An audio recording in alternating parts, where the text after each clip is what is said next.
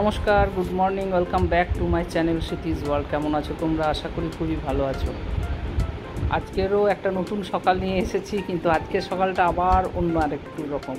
কেন কি মেয়ে চলে গেছে তোমরা জানো, তারপরের দিনটা কি অবস্থা হয় মা বাবার? সেই সকাল, তার মানে বুঝতেই পারছ যে কতটা ব্যথাজনক সকাল আজকে। মন ভীষণ খারাপ তাও তো চা বসিয়ে দিয়েছি, দেখো চা তো খেতেই হবে। চা না খেয়ে তো আর পারা যাবে না। তাই দেখো আমি এখানে চা বসিয়েছি, আমাদের দুজনের অন্য দিন তিন চারটে কাপ পড়ে, আজকে দুটো কাপ। আমরা দুজন মিলে খাব। তারপরে সারাটা দিন কি করছি দেখাবো। দেখো ঘরের অবস্থা দেখে বুঝতেই পারছ, সেই বাচ্চা দুটো যেমনভাবে রেখে গেছে, অমনিই আছে। সেই ওল ঢাল, চারিদিকে ওদের খেলনা পড়ে, চারিদিকে ওদের জিনিস, কিচ্ছু ভালো লাগছে না। তাই আমি চা নিয়ে বসেছি।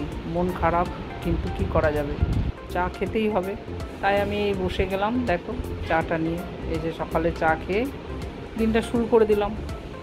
এরপর কি কি করতে পারব জানি না। আমার তো মনে হচ্ছে যেন সময় কাটছেই না। দেখো ঘরের যেমন মেয়েরা বিছানা ছেড়ে গেছে, সেই রকমভাবেই পড়ে আছে। আমি কিন্তু কিচ্ছু করিনি। অ্যাটাচগুলো থাকতো, এই জায়গাটা ভরা হয়ে থাকতো।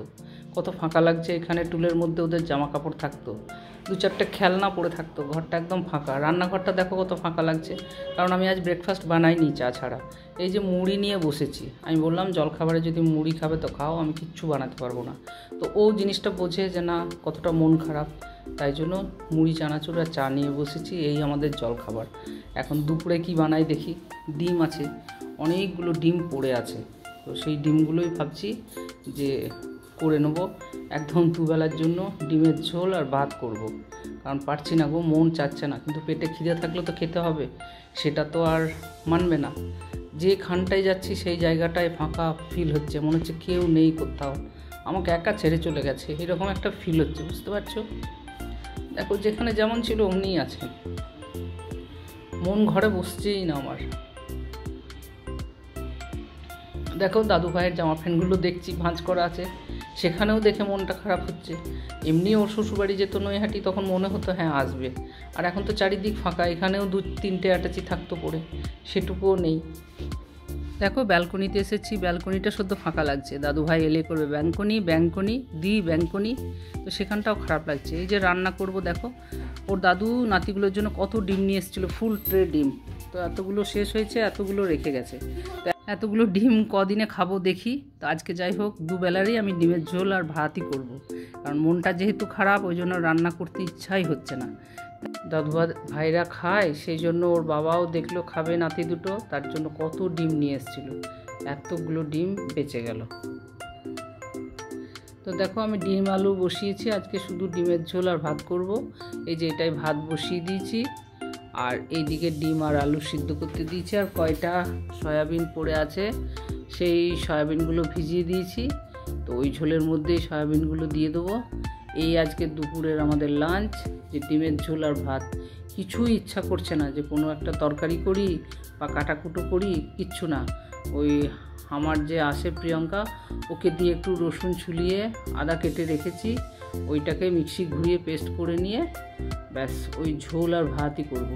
তো দেখো এইখানে এই যে আদা, রসুন, টমেটো সব পেস্ট একবারেই করে নিয়েছি। আমি ওই ডিম আলুর সাথেই সবটা ঢেলে দিলাম। ওই ঢেলে দিয়ে একটু কষিয়ে নিয়ে জল ঢেলে দেবো। ব্যাস, আমার রেসিপি আজকে খুবই ইজি বুঝতে পারলে এরকম রেসিপি ডেলি সবাই রান্না করে খেয়েও। তবে মন খারাপ করে বসে থেকো না, আমার মতো নিঃসন্দেহে। দেখো আমার রান্নাঘর টিপটপ থাকে, দেখেছ? এই খোসাগুলো শুদ্ধ ফেলতে ইচ্ছা করছিল না। দেখো নিট অ্যান্ড ক্লিন তো করতেই হবে, না হলে হবে না। মানে কোনো কাজেই যেন মন বসছে না। তবে আমার মতো এইভাবে খেও না ডেলি মন খারাপ করে থেকো না। মনে উদ্যম এনো, হেসে খেলে থেকো। কিন্তু যেহেতু কালকে রাত্রেই মেয়ে গেছে বলে আমার তো সে হাসিটা আসছে না, তবুও হাসি, হাসবো না কেন? কিন্তু মন খারাপটা বেশি, তাদের জন্য টেনশন হচ্ছে, বাচ্চাগুলোর জন্য মন খারাপ হচ্ছে যে এতটা দূরের রাস্তা, কেমনভাবে পৌঁছালো তারা রাস্তার মধ্যে তাদের শারীরিক কোনো প্রবলেম হয়নি তো। কারণ নেট তো পাওয়া যাবে না। ফ্লাইটের উপরে উঠে গেলে তার নেটের কোনো আতাপাতা নেই, যতক্ষণ না ল্যান্ড করবে। তো এই সব কিছু মিলিয়ে দিন কাটছে। দেখো ব্যালকনিটা শুদ্ধ খালি লাগছে। শুদ্ধ আমার নাইটি আর সায়া মেলা। বাচ্চাদের কত জামা কাপড় মেলা থাকে, কত টাওয়াল থাকে, ওদের কত হরফের জামা কাপড় এখানটায় মেলা থাকে। সেগুলোও নেই। দেখো, পুরো ব্যালকনি খালি। ক্লিপগুলো এমনিই পড়ে আছে। ক্লিপগুলো সদ্য কান্না করছে বাচ্চা দুটোর জন্য। দেখো ব্যালকনিতে এসেছি, একটা ফ্লাইট আসছে ফ্লাইটের আওয়াজটা শুনেই বুকটা ধরাস করে উঠল। দেখেছ? দেখো, আজকে কিন্তু একটু সকালবেলার দিকটাই তো মানে বাজে এখন বারোটা সাড়ে বারোটা, তাও কুয়াশাচ্ছন্নই মনে হচ্ছে, এতটা ক্লিয়ার আসছে না। দেখো, কত মাথার উপরে ফ্লাইটটা আসলো এইভাবে যদি আবার চলে আসতো নাতি দুটো, মেয়েটা, জামাইটা, তাহলে কত ভালো হতো বলো? তো দেখো আমার যে ছাতের সেই যে গাছটা দেখিয়েছিলাম, এই গাছে দাদুভাই ডেইলি জল দিতে আসতো, মনটা খারাপ হচ্ছে। দেখো, এত মন খারাপ করার পরে সন্ধ্যাবেলা আমার ওই নিউ টাউন থেকে দাদা, দিদি এসে গেছে। এটা হচ্ছে সেই চন্দ্রযান করেছিল, সেই চন্দ্রযানের বাবা মা, মানুদার বৌদি। যাক, তারা এসে দেখা করতে আসাতে আমার মনটা খুশি হলো, ঘরগুলো একটু টিপটপ করতে পারলাম তাদের আশাটা শুনেই। যাকে, একটু গল্প করলাম তাদেরকে যাকে এই দাদা দিদি কাছে আছেন বলে একটা রক্ষা।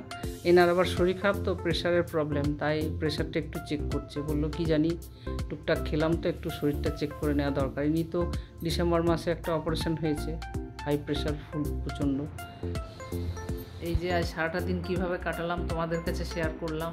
ইচ্ছা না থাকলেও করতে হয়। কেননা, আমাদের ইউটিউব ফ্যামিলি আমার তো কাজ এটাই যে সারাটা দিন কি করছি, না করছি তোমাদের কাছে শেয়ার করা তো সেই শেয়ারটা যদি না করতে পারি তাহলে তো হবে না। তাই আমার ইচ্ছা না থাকলেও আমাকে কিছু কিছু অংশ ধর, করে ধরে তুলতেই হয়। তাই হয়তো কিছুটা মিস করে যায়, আবার যখন মনে পড়ে যায় তখন হয়তো কিছুটা নেই। কারণ মন খারাপের সময়, মন খারাপের জায়গা সেটা তো বুঝতেই পারছ সবাই। তো যাই হোক, মেয়েরা যাওয়ার পরে দিনটা মনে হলো যে বিরাট বড় একটা দিন। দিন যেন কাটছেই না। কিচ্ছু বানাইনি। দেখে দেখেছ যে মুড়ি খেয়েছি আর ডিমের ঝোল ভাত খেয়েছি। যাক, বিকেলবেলা যখন ছাতে গেলাম তখন ফোন আসে, দিদির যে আমরা আসছি তোমাদের সাথে দেখা করতে, মনটা খারাপ তো? তাই ওই দাদা দিদি আসাতে একটু সন্ধেবেলাটা বেশ ভালোই কাটলো। ওরা যাওয়ার পরে আমরা ডিনার করলাম। ডিনার করে এখন বসে আছি, টিভি দেখছিলাম।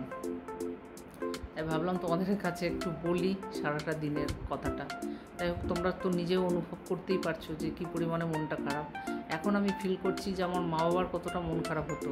এখন তো তাও ফোনে সবসময় আমরা কথা বলতে পারছি ভিডিও কল ওরা যে এখান থেকে যেমন গেছে কাতারে, সেখানে নেমে তো ভিডিও কল হয়েছে বা মেসেজ হয়েছে, জানতে পেরেছি।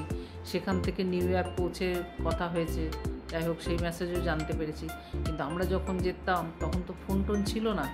সেই ট্রেনের মধ্যেই যেতাম এবং ট্রেনে তো আমরা তো ঠিকঠাকই যেতাম। পাঁচজনের সাথে গল্প করতে করতে গেছি, বাচ্চারা কি খাবে, কি না খাবে সেটা হয়তো কোনো স্টেশন এসেছে, সেখানে দাঁড়িয়েছি, নিচেও নেমে গেছি, এনে দিয়েছি।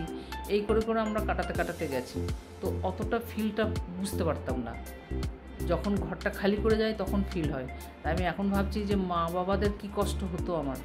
কারণ সেই সময় ফোনের যুগ ছিল না। সেই পৌঁছেও যে জানাব যে আমরা পৌঁছে গেছি বাচ্চা নিয়ে, সেটারও কোনো পন্থা ছিল না। সেই চিঠি লিখতাম, তার সাত দিন পর মা বাবা পেতেন। যাই হোক, তো অনেক কষ্টেরই দিন গেছে। এখন ফিল করছি যে মা বাবা কতটা সহ্য করে, কতটা ধৈর্য ধরেছিলেন, যে জিনিসটা এখন আমি ফিল করি। আমার জায়গাটাই এসেছে, কারণ আমার বাবা একটাই কথা, কিছু বললেই বলবে। দাঁড়া দাঁড়া, তোদেরও সময় আসছে, ঠিক বুঝবি মা বাবা হয়েছিস তো, এটা কেন বললাম? তো সত্যিই এখন আমি বুঝতে পারি। এখন কষ্টটা মা বাবার জন্যও হয়, এদিকে বাচ্চাদের জন্যও হয়। কি করব? তো যাই হোক, আজ সারাটা দিন এইভাবে কেটে গেল। কালকে আমি ঘর সব টিপটপ করে, পরিষ্কার পরিচ্ছন্ন করব, মনে মনে ভাবছি। তো যাই হোক, আজকের এই ছোট্ট ব্লগটি তোমাদের কেমন লাগল? তোমরা কমেন্ট বক্সে লিখে জানিও। সবাই খুব ভালো থেকো, আনন্দে থেকো। আর আমাকে লাইক কমেন্টস করে আমাকে ভালো রাখার চেষ্টা করো। কারণ আমার বাচ্চাগুলি তো সবাই বাইরে আছে। তো আমার তো তোমরাই বন্ধু, তোমরাই সাহারা। তোমাদের সাথে আমার সারাটা দিন কাটবে। গল্প করে লাইভ করে মেসেজ লিখে মেসেজ তোমরাও পাঠাবে সেটা পড়ে, এই করে আমার সময়টা কাটাতে হবে। তাই আজকের মতন রাখলাম। সবাই খুব সুস্থ থেকো, আনন্দে থেকো, ভালো থেকো। আর আমাকেও এইভাবে হেসে আনন্দে রাখার চেষ্টা করো। রাখলাম। বাই বাই গুড নাইট দাদু ভাই love you love you love you too দাদু ভাই, খুব ভালো থেকো। দেখো নিউ ইয়র্ক পৌঁছে এয়ারপোর্টের ফটো কত টায়ার্ড ফিল হচ্ছে বাচ্চা দুটোকে।